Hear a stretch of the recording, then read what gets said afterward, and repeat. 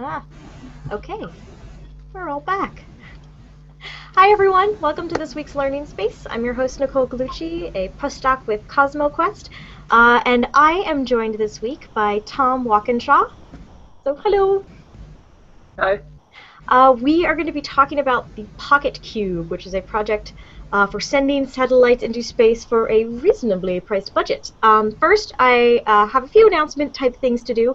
Uh, unfortunately, my co-host Georgia Bracey is not here. She's on her way back from a conference in Vegas, so go Georgia.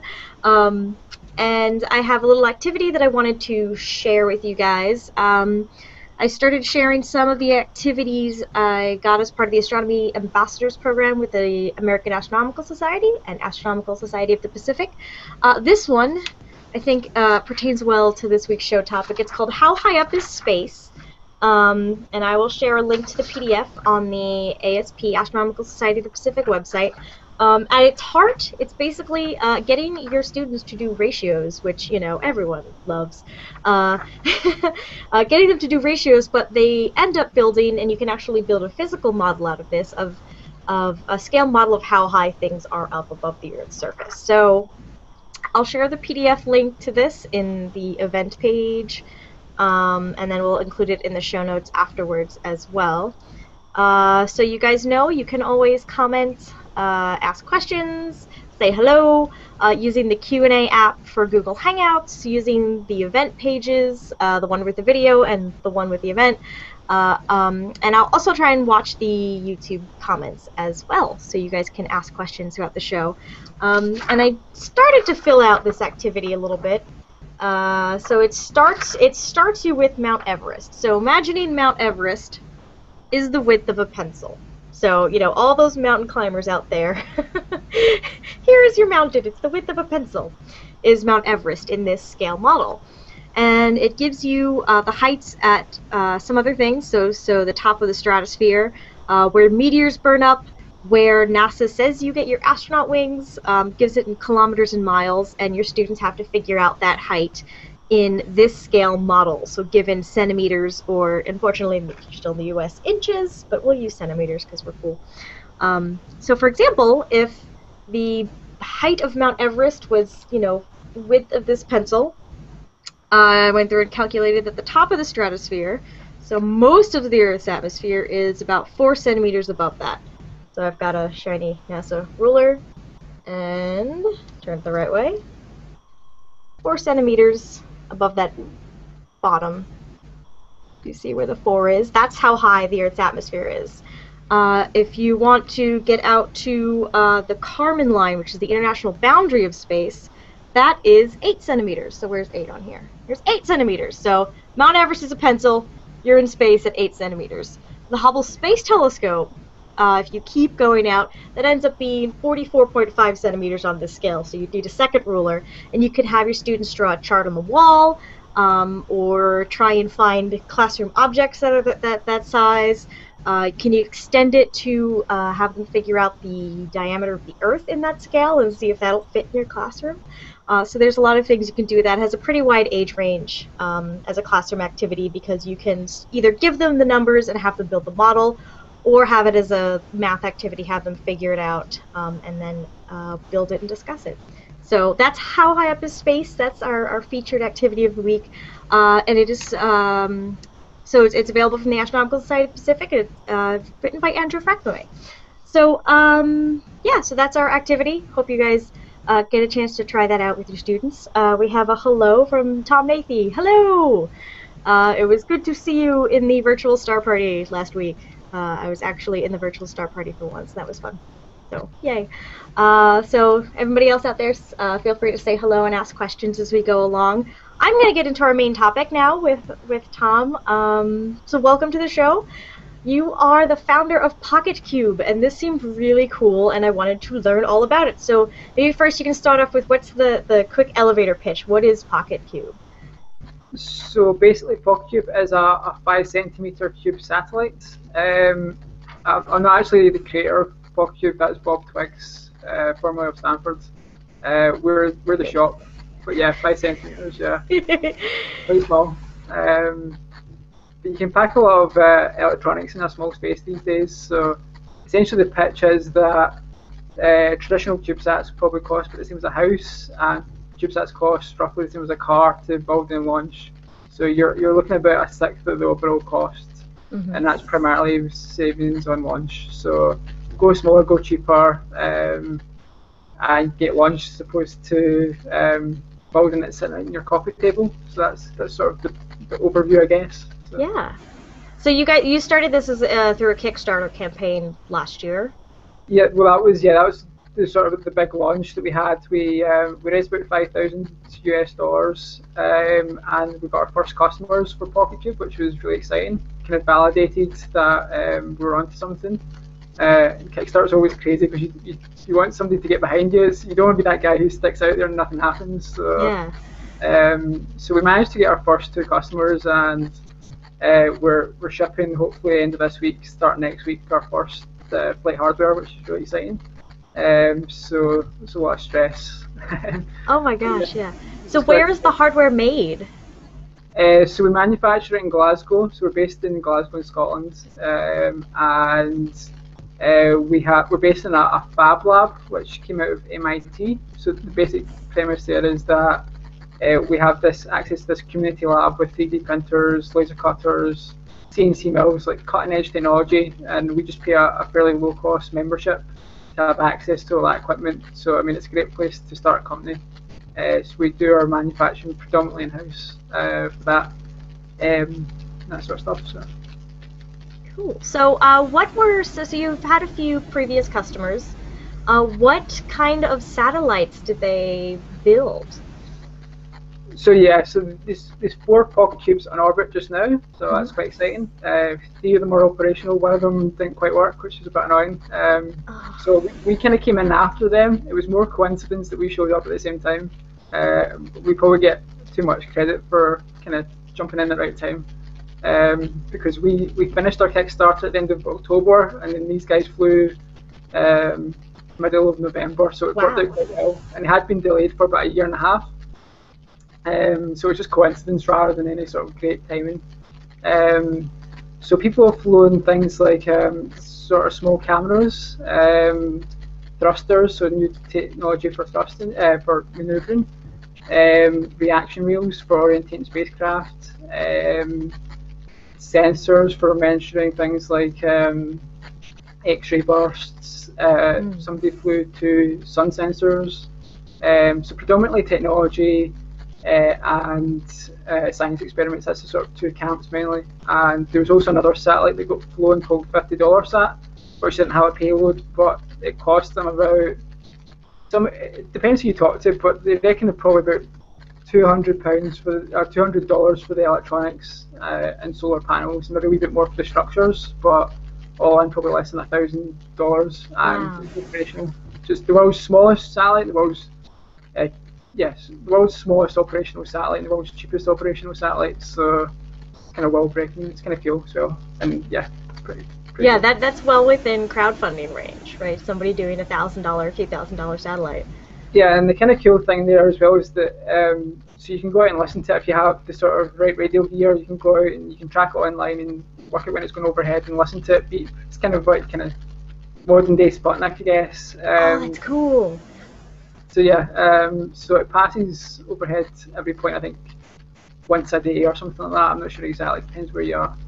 Um, and they also open source the designs, so you can go on their website and um, build one yourself. So, uh, so we sell the structures um, for the spacecraft, but they have open source PCBs. So if you quite like soldering and quite like getting your hands dirty, you can um, make your own fifty dollar sat, which is kind of cool. Um, and because I mean, just now we're sort of um, we're very early on. I mean, it's like the first ones were launched launched just last year, mm-hmm. so there's an awful lot of parts. So just now it's very much DIY until more commercial companies come on board and offer you know battery packs, processors, that sort of things. Sure. Now, can you um, maybe walk us through if if if I have a an idea for um, a satellite, what would someone do? They have an idea for a satellite. They don't have any um, satellite technical experience. They come to you, and and what do they do? Yeah, so um, so we kind of we on our website we kind of split it down. I mean, initially you have to have some sort of obviously you need to do something, so there'd be a reason behind it. So we try and work out what the reason is, um, whether it's practical, because I mean it's good to be cheap, but as you go smaller you lose capability. So if it needs to go beep or it needs to maybe have a small camera or small sensor, then that's probably within the range of a PocketQube project. If it's something like um, high resolution imaging on the ground, you're probably going to need something bigger. Mm-hmm. So we sort of work out like where are they coming from, what's their sort of their needs, um, and the website we sort of split it down into the sort of different stages. So you need to raise your funding first of all, uh, otherwise you're not going to build anything. So uh, we've done a Kickstarter and we're going to put up some videos on how to successfully crowdfund hopefully and um, give some sort of best practices. Um, and they have been three or four satellites crowdfunded now, so that's a, a viable option. Mm-hmm. Um, in terms of design, we have um, the first commercial part, so we sell the structures. So obviously, kind of self promote here, but I'd say buy a structure from us because you know we're the, we're the only ones in the market just now. And, uh, but yeah, uh, you can buy essentially the box, um, and uh, most satellites are fairly standard, as in um, so they're they're sort of an incremental unit. So you have a one pocket cube, which is a five centimeter cube, mm-hmm. and then you have a one and a half and a two and a half. So it's just you just add it up. So it's um, I think it's just over seven and a half, and then just for 10 centimeters, and then you can go all the way up to about two and a half. So some of the ones that got launched were two and a half units or two p, two and a half p's.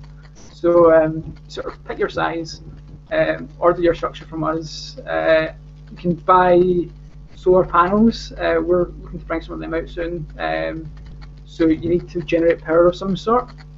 Um, and then on the insides, you need um, a power system, uh, like computer, uh, and some sort of communications. So we're uh, working with a company in the States to bring out a radio kit soon. So that was start of March, we're bringing that out on the website. Um, and then your payloads. So that's kind of what most people probably get excited about. Is so you have your, your basic bus, which is kind of the sort of the unloved stuff, I guess. But the payloads, what do you want to fly? So do you want to fly a camera? Do you want to fly a sensor? Do you want to fly something like a propulsion? Do you want to fly a deorbit sail? Um, so that's kind of the cool stuff. So it really just depends. Mm-hmm. Um, and we're also sort of working on launch opportunities. So obviously you want to get it launched because otherwise you can't just use a slingshot. Yeah, yeah, you need yeah. a rocket.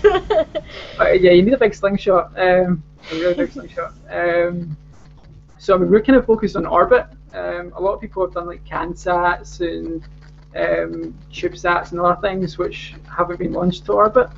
And you know they're kind of cool, and you know you maybe get a nice day out and fire a rocket and stuff. Um, the kind of cool thing about pop cubes is that you're up for a bit longer, so you're in orbit so you're doing Mach 25 um, and orbit the Earth every day. Um, the ones went up just now are about 15 years, I think, 15, 16 years in orbit, um, wow. and cost less than an SUV. So that's pretty good mileage. That's, that's actually probably the that's best. That's a lot of mileage. yeah, it's you know, cost per mile is pretty low, so um, that should be on your marketing line actually. Um, but yeah. Um, so yeah, we're, we're working with brokers. So the first four were launched in a Dnepr, which was a, um, a converted ICBM. Mm, um, so yeah, so actually the Russians had all these nukes left over from uh, end of the Cold War era. Thankfully, they never used them. Um, and you know, they're quite capitalist. So you know, why leave them in a silo when you could sell them to the Yanks or the Europeans make me that money. Much better use. This is a yeah. much better use of those rockets. well, yeah, it's been rebranded. It's called the, the, the just now, but it used to be called the SS Satan. So it's it's kind of yeah, I know. Wow. Do you want to have PocketQube launch on an SS Satan? SS yeah. There you go. so yeah, so so I mean it's quite a good track record, and um, they broke the world record last time. So what you're seeing is lots of small satellites kind of get on the bus, if that makes sense. So mm-hmm. you you have lots of tiny satellites on one big massive rocket, and that's how the economics works out because you essentially group sort of yeah. guess group one per satellite. I guess you sort of spread out the cost between lots of different parties, and uh, 32 in the last one, and there's going to be more world records I think coming up soon. So very cool. Um, so what is the hardware like? I can show some pictures. Like, what is like the starting price of uh, the satellite body? What are you getting? So, yeah, so we ours is uh, four nine nine uh, US for US dollars, uh, and we're looking to do free shipping as well.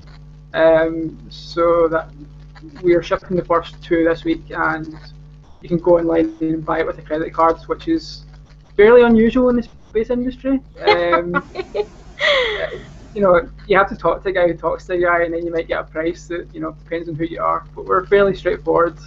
You can buy it online. Um, we'll pretty much sell them to anyone, as long as you're not under some uh, dictatorship or something like that. Any export regulations against that. Um, we're a wee bit better in the UK than the US is quite bad for exporting technology because they're not keen to export it. But uh, yeah, keen.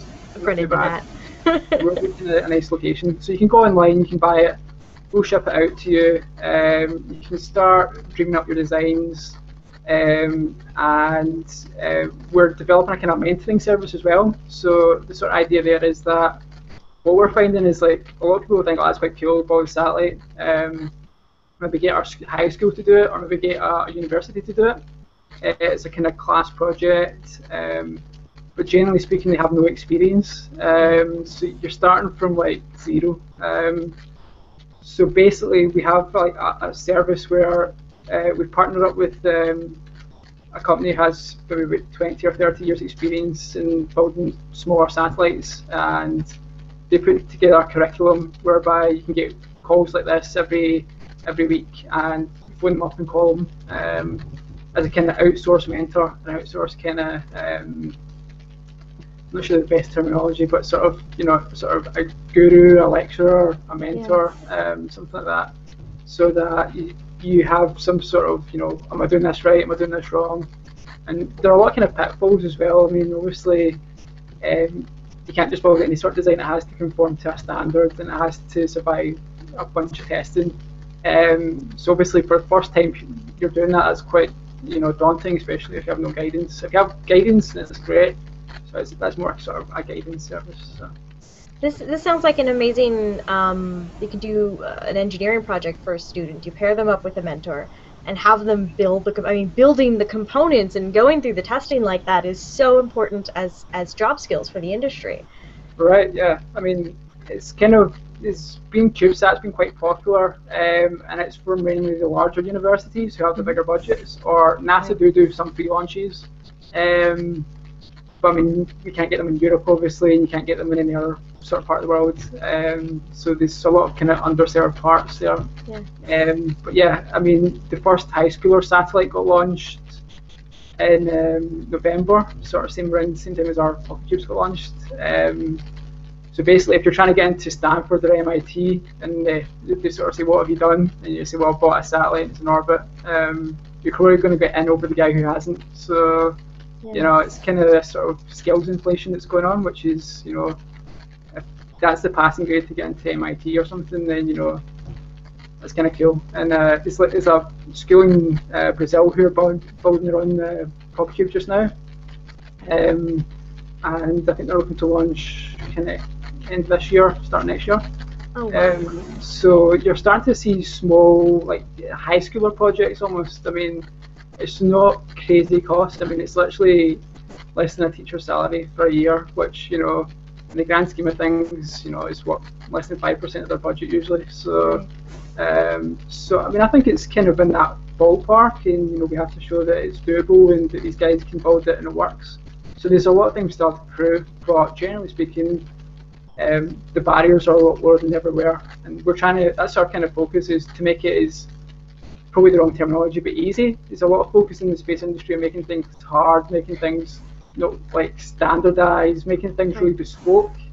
And it's mainly to feather everyone's on this, which, you know, it's not good if you want to get wide access and participation. So, you know, we think this has potential to get, you know, hundreds of groups interested and, you know, we'd like to see lots of people get involved and start their projects and we'll try and be as helpful as we can um, so yeah, that's kind of where we are. So we have a question from from Tom um, related to, to what you were just mentioning. Does the user supplied electronics do, do this the user supplied electronics need to be space rated, Um, or can it just be any electronics that can withstand the launch and the environment? Is there a specific rating system, or is it just a certain tests that you have to go through? Yeah, so like radiation hardening and that sort of thing. Um, so the answer is um, vibrations thing that usually breaks it. So if it's about the vibration test, then usually you're good for launch. Um, okay. So fifty dollars that was all off the shelf. Um, they ordered it online and they've got their parts in the post um, from standard electronics providers. Um, it's always safer to go with people who um, like providers. Um, just now there isn't an awful lot of them in PocketQube because it's so new. So we're trying to create a development community. Mm-hmm. Kind of like you have like apps for the App Store, you have people who develop for PocketQube and sell their parts. And that's another way to finance your own pro- PocketQube project, we hope. Um, but for testing, I mean, if, if you can survive the thermal and the vibration test, usually you're good. And $50 that proved that um, stuff you can buy off DigiKey works. So, you know, um, so the answer is usually if you test it enough times and it doesn't break, then give it a go and see what happens. It's, it's kind of a change in attitude as well that we're trying to get across is like um, just like rapid iteration and trying things. So a lot of times people don't know. So one of my friends um, from Surrey uh, built uh, world's first phone satellite. So it had a Nexus, um, can't remember the type, Nexus 7 from Google. So it's the world's first smartphone to fly in space, and it was the processor for Strand 1, which is kind of cool. Um, the problem was that by the time they flew it, which was three years after they designed it, um, they brought out like three new versions or four new versions of that phone. So like the stuff you could buy in the shop was more powerful than what was on the satellite by quite some margin. Yeah. Um, and they couldn't upgrade it because they had a, a, a, mold for that size, uh, that shape and that size, and phones tend to change size. So there's things like that that you know we'd like to see people find like Raspberry Pis and um, that new Intel Edison chip and just like things that come off the shelf and like literally right we'll try it in a, a PocketQube we see if it works, and if it doesn't work, it's not the end of the world because we've tried it, and you know we'll learn. And um, if it does happen to work, you know that might enable technology to go on a few leaps and bounds. So a lot of kind of cool technologies around propulsion and uh, battery storage and deployables and things that could just get tested. And you know, if two or three of them work, then great. I mean, they're the standards now. So. Yeah, no, that that's a great way. I, I think that's a great way of doing things. Um, the project I worked on as a grad student was a radio telescope. They're building out to 128 antennas now, but we started with four, and we tested the crap out of those four because that's you know, like you said, if, you, if it goes wrong, it's okay. It's it's not a huge scale, so that's a yeah. great great great philosophy, I think. you, can't really do that on James Webb though. So no. the difference between us and them is yes. that they have to succeed no matter what. Mm-hmm. We like go down in a blaze of glory. Nobody really cares because it's a high school or a university project that no one's ever heard of usually. Right. So you know, if it doesn't power up, then you know, it's not the end of the world. But if it those powers kids up, would be devastated. But yeah. Yeah. It's not. Well, yeah. Um, but they learned something in the process. Yeah. That's important too. learn perseverance. Yeah. Yes, you learn perseverance. So yeah. Oh. Um, now I noticed in one of the tweets from PocketQube, um, the the quote, "satellite in every classroom." Is this a yeah. long-term vision that you have? Yeah. Um, I mean, I think it's completely doable. I mean, it's um, probably. I mean, I've been talking to people around sort of startup scenes, and they think I'm a big 10 years ahead of what I should be doing, but it's probably a bit ahead of the curve. Um. But I mean, that's how computer started out. Computer started out as like, what, you're going to have a computer in a classroom? Are you crazy? Do you know I mean? Um, but you know, eventually they started getting smaller and smaller, and then they started having applications. Mm-hmm. I wouldn't say these like direct analogies. It's obviously it's a different sort of pro- program, uh, different thing for different sort of solution. But you know, I mean, I'd like to see every university in Scotland build one, and there's 15 universities in Scotland.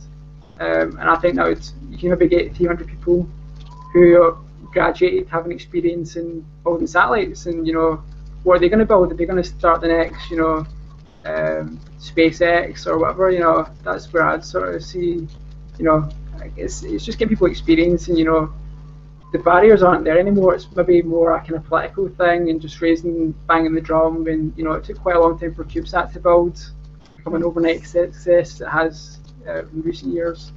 Um, but yeah, I mean, it'd be kind of cool to get one in every classroom. I mean, there's a lot of classrooms out there, so that's quite a big challenge. So, but you know, if we, we've got them in like a few people are building today in classrooms, so there's no reason why that couldn't fail. If Yeah. people got behind it, we get inquiries all over the place. We get inquiries from Ecuador and Brazil and Argentina and India, and you know, it's, it's kind of like one or two students who've randomly heard about us through some sort of activity. Know, kind of that's kind of cool. You know, we could do this in our university, our high school, our college, whatever. Um, and to be honest, there's not a lot stopping them. They just need sort of perseverance and Right. determination and ability to, to sort of sort of seize the opportunity. So. Um, yes, uh, any teachers watching, if you've been thinking about building a satellite, if you Yeah. dreamed about building, I, I know a couple teachers locally here that would just jump on that. So let's spread the word. Oh, we have uh, another question from Tom. What about communicating with the satellite? Who handles that? Is that is that handled by the team?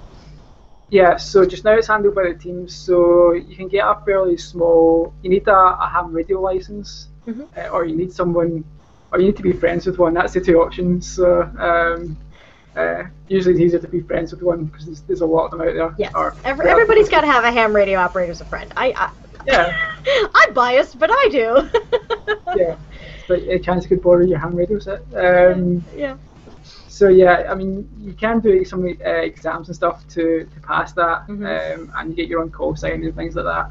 Um, or um, you can work with someone who does have one already in place, which is probably slightly easier. Uh, it depends how authentic you want to make the learning experience, I guess. Um, Depends what's. I mean, you could have someone do that. You could have someone do the soldering. You could have somebody, yeah, doing a different part of it. Yeah, I mean exactly. So I mean, just now the teams are there's a big dish in Morehead which is being used Mhm. uh, by the guys in Kentucky who flew uh, T-LogoQube, which is one of the CubeSats, uh, one of the pop cubes rather. Um, some German guys who, who made a homemade device, and that's talking to them. Uh, they're on satellite. Um, uh, and the fifty dollar sat guys will have their own. They're all ham radio guys, so that's their background. Um, so they're more from the radio world. So they've bought their own gear, um, and I think you can do it fairly cheap. I mean, it's still something we we need to explore and make easier. You know, sort of document it out. So there's a, a sort of easy plan to follow. Um, but it's been done a lot of times for the CubeSats. So I mean, I think it's viable that you could talk to it from your own ground station, as long as you have the right permits and stuff. I mean, I don't think that's depends where you are in the world because there's different regulations.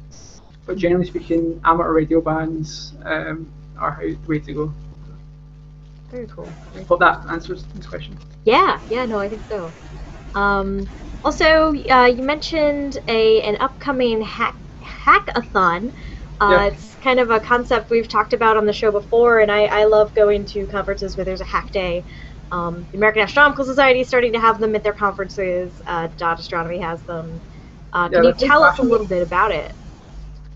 Well, ironically, we're not organising it, so Uh, okay, but you're taking part in it. Yeah, well, yeah, I mean, we're definitely we're looking to help them out, and um, it's being run by Professor Bob Twiggs, who invented PocketQube and CubeSat, and was formerly Space, in, Space Systems Engineering at Stanford. Um, so it's in Mountain View uh, in April time. So it's, it's kind of cool that it's the world's first PocketQube hackathon. Uh, and we're going to try and get there. We're based in Glasgow, so it's a bit of a commute.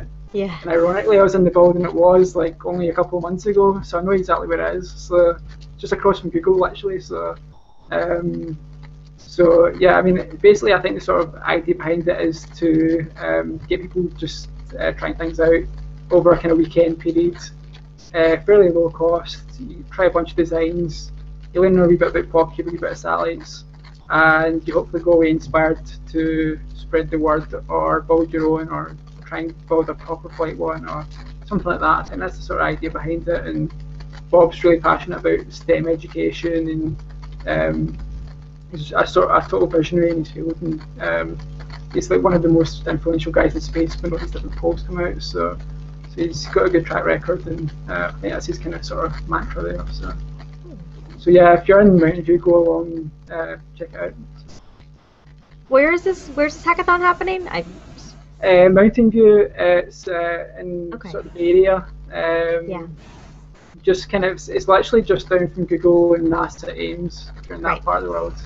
Um, just doing the 101. So That's a good place. it's a good place to have such, such it's a really it's nice weather. I mean, Scotland's not like that. So yeah, it is nice weather. Having the rain clouds over here. So oh, you could do radio astronomy. yeah, pretty much. Yeah. so, what is your what is your background? Um, what got you involved in this in the first place? Yeah, it's kind of a funny story. It's a long one. Um, I mean, I come from a business background of all things, so I'm not really. Uh, uh, I done business at university, and um, I mean, I quite liked it. I mean, I thought it was kind of cool, and I thought it would be a smart way to get a job going into business. Um, and um, yeah, we have a local company in Glasgow called Clyde Space, who uh, their founder a talk and basically said, you know, I was obviously aware of space and I was a, a fan of space. Um, huge fan of like Elon Musk and SpaceX and Tesla and all the things he's doing. It's really kind of sort of, you know, I think he'll go down in history. Um, but uh, one of the local guys who had quite a successful company doing CubeSats sort of done a talk saying that, you know, why do we not have more entrepreneurs in Glasgow doing this? And um, so, yeah, I kind of thought, well, why not? So we tried around with a few other ideas and eventually we got onto this and we talked to a few people in the industry and it seemed like a decent opportunity to go for. Um, so we started building prototypes maybe about a year ago. Um, and then I quit my job, which was a bit scary, and we took on our first employee as well. So, so we're starting to look like a real company eventually, slowly but surely. So, it's it's always tricky when you're starting out because startups are pretty tough to get off the ground. But hopefully, we've Yeah. got enough in our sails that we can uh, spread the word and you know do well. So, um, but yeah, business background, and I would say probably more kind of part of the maker movement than anything else. So um, joined the local Fab Lab, uh, learned all about sort of making technologies and sort of applied, you know, I've kind of got business background, so I can make a bunch of prototypes, kind of make a business here, kind of do this rather than financial services or something like that. So, so yeah, totally different career path than most people, guess. So, maker businessman, a maker businessman with an interest in space. Pretty much, yeah, the overall picture. pretty much. Very cool. Um, we have another question, um, also from Tom Nathy. Are these satellites in a low enough orbit that they re-enter on their own, uh, or do you need to deorbit? Do you need to deorbit them at the end of their lifetime? Yes, so basically, you're only allowed 25 years in orbit from the United Nations. Um, wow. There's a limit.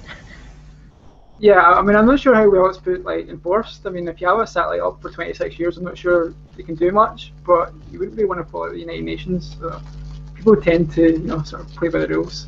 Um, so generally speaking, you're only allowed 25 years anyway. Um, so you have to. Um, the highest you can really go up is about 700 kilometers um, up. Uh, I don't know what that is in your scale. Uh, Uh, it's it's a little bit above the Hubble Space Telescope, so got two of these rulers. Yeah. So I mean, uh, the thing with these is that they, they fall out the sky fairly quick because they're quite small and Mhm. uh, they're drag. I mean, the ones that flew had um, uh, drag wings so that they could increase their cross section, essentially meaning that they could deorbit quicker. Okay. Um, so I mean, you can take propulsion on board, and some CubeSats and PocketQubes have. Um, but to be honest, as long as you're in a low enough orbit, and it depends. I mean, you can go anywhere from about 300 up to 700, Mhm. um, and it depends on a whole bunch of different factors like the solar cycle, where we are, solar minimum, solar maximum, that Right. sort of thing. Um, but roughly speaking, most of them are in within 25 years. There's nothing that I know of that would be longer than that. Okay. So they so they so they deorbit on their own, but there was at least one that you said has propulsion system on it. Yes, so one of the PocketQubes did take um, four pulse plasma thrusters on board. Uh, a small PocketQube called WREN, which is one of the smallest PocketQubes, or one of the smallest satellites ever to fly. Um, but it didn't it didn't work. So the, the beacon worked, but the uh, satellite didn't boot up. So a bit unfortunate. Uh, it worked in the lab pretty well. That's the Um, that didn't go. Okay. so, but I think they're they're planning a follow up. I think I think it's going to be a WREN two or something like that. So they've done a Kickstarter, but it didn't get funded. So I think they raised about seven thousand dollars or something, but they needed a wee bit more. So hmm um, so yeah, that's kind of cool technology as well. And I mean, you don't have to take propulsion so long as you're under 25 years, but you know, if you want to, you can. If you want to test a, a deorbit sail, then you know, that's probably a good place to do so. so. Sure. So the short answer, yeah. Yeah, so it, it's a lot. It's it's a lot smaller. It's it's it's small in comparison to the amount of stuff that hits Earth from space anyway every day. So yeah, yeah, it's like several tons gets hit from space or something Yeah. like that. and, yeah, that know, burns up. So yeah, it, that's yeah, fine. we're like fit in your pocket sort of size thing. So Uh, we have uh, Nancy Graziano just joining us, uh, asking if you can maybe talk a little bit more about what the um, the PocketQubes that already went up are doing. So you mentioned cameras and sensors. Can you talk a little bit more about what they do? yeah, so um, so three out of the four of them are operational. Unfortunately, the really good one, or the really advanced one, I shouldn't say the really good one. That's kind of bad. Um, the really advanced one didn't work, uh, Yeah. or they couldn't get it from the ground. I think the software had a glitch or something. Mhm. Uh, the other one's fifty dollars sat is beeping out Morse codes, um, and it's basically a beacon on how high its battery voltages are, um, which isn't the most exciting thing. But to be honest, it was fairly cheap. You know, it's like Yeah. two hundred dollars something. So, you know, um, so that was more proof of concept, and it's it's still working after nearly three months. You know, so um, it's pretty impressive. This one's uh, called fifty dollars sat. Yeah, Okay. the internal electronics cost less than fifty dollars. Wow. So, um, and it's all open source, so you can get the designs online. Okay. Uh, and they've even got like a part list of where they bought them from and stuff. So um, online and stuff. So uh, it's pretty impressive stuff. Um, the other two, one was called T-LogoQube, which um, I believe was looking for X-rays or detecting X-rays in low Earth orbit, um, and uh, had had some uh, basic computer programming language uh, called uh, ULogo, I think it was, which was to get um, kids coding and then using that on satellites. So it's kind of to get people more interested in coding. And the way to get people interested in coding was you're building satellites or going to space. That's kind of cool. So you know, yeah.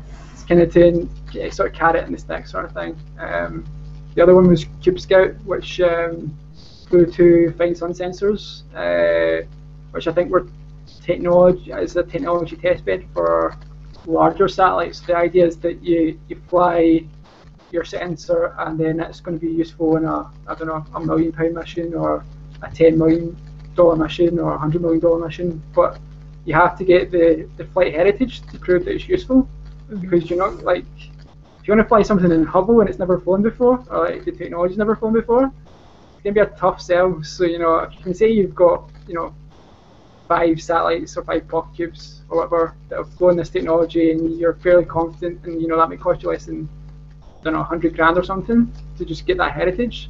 And then that's when you make the mistakes as opposed to when it's like mission critical. Yeah. Um, yeah.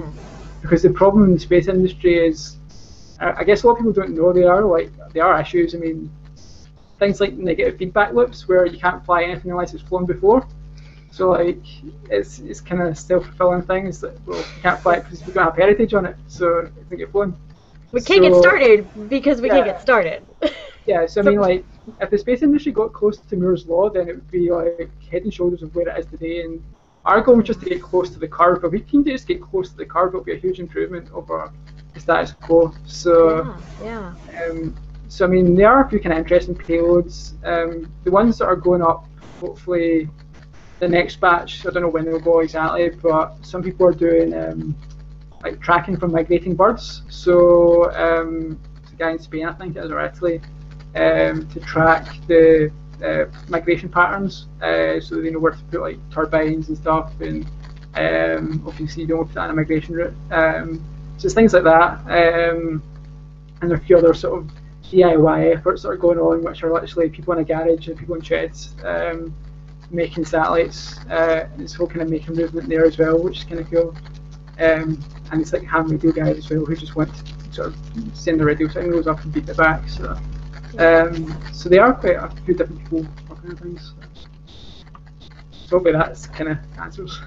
Yeah, yeah, yeah, yeah, definitely. Um, I know uh, sort idea that Fraser Cain from Astronomy Cast uh, and all our other hangouts, Universe Today, um, has been talking about with some and Pamela Gay and and bunch and Phil Plait. I think they've all been talking about. We want to put up a camera in orbit, streaming video constantly, so anyone can see it. You know, like this is the the the size I think that they're looking for. Yeah. So, all right, I shouldn't yeah. say that too loud because then they're gonna start a Kickstarter. You're gonna make me start the Kickstarter. happens. So you know, I mean, people are crowdfunding satellites now, and you know, I mean, look at ArKyd. I mean, with space telescopes, you could potentially do it on small form factors, but there's a lot of challenges. You know, right.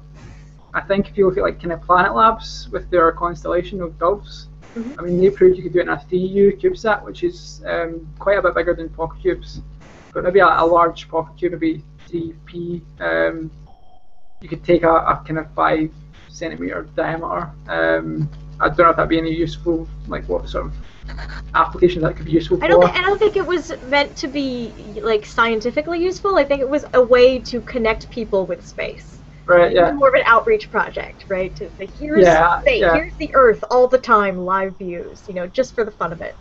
Yeah. Well, they are they're all kind of cool concepts um, mm-hmm. for slightly maybe not Polycube, but like uh, for CubeSat, like exoplanets sats. So the mm. idea is that you have a constellation of uh, CubeSats which can detect extra, extrasolar planets, um, which currently you can't do with one big Hunkin satellite telescope. You need mm. the spatial, uh, and that's kind of where the killer app for these little guys is. Is it's not doing one in isolation; it's doing hundreds or thousands of them because you just do things that you just can't physically do with a big billion sure. dollar satellite. You know, it's it's kind of it's. I'm not sure what the applications will be, but you know, like real time coverage of Earth. You know, tracking every wildfire on Earth. I mean, currently we can't do that.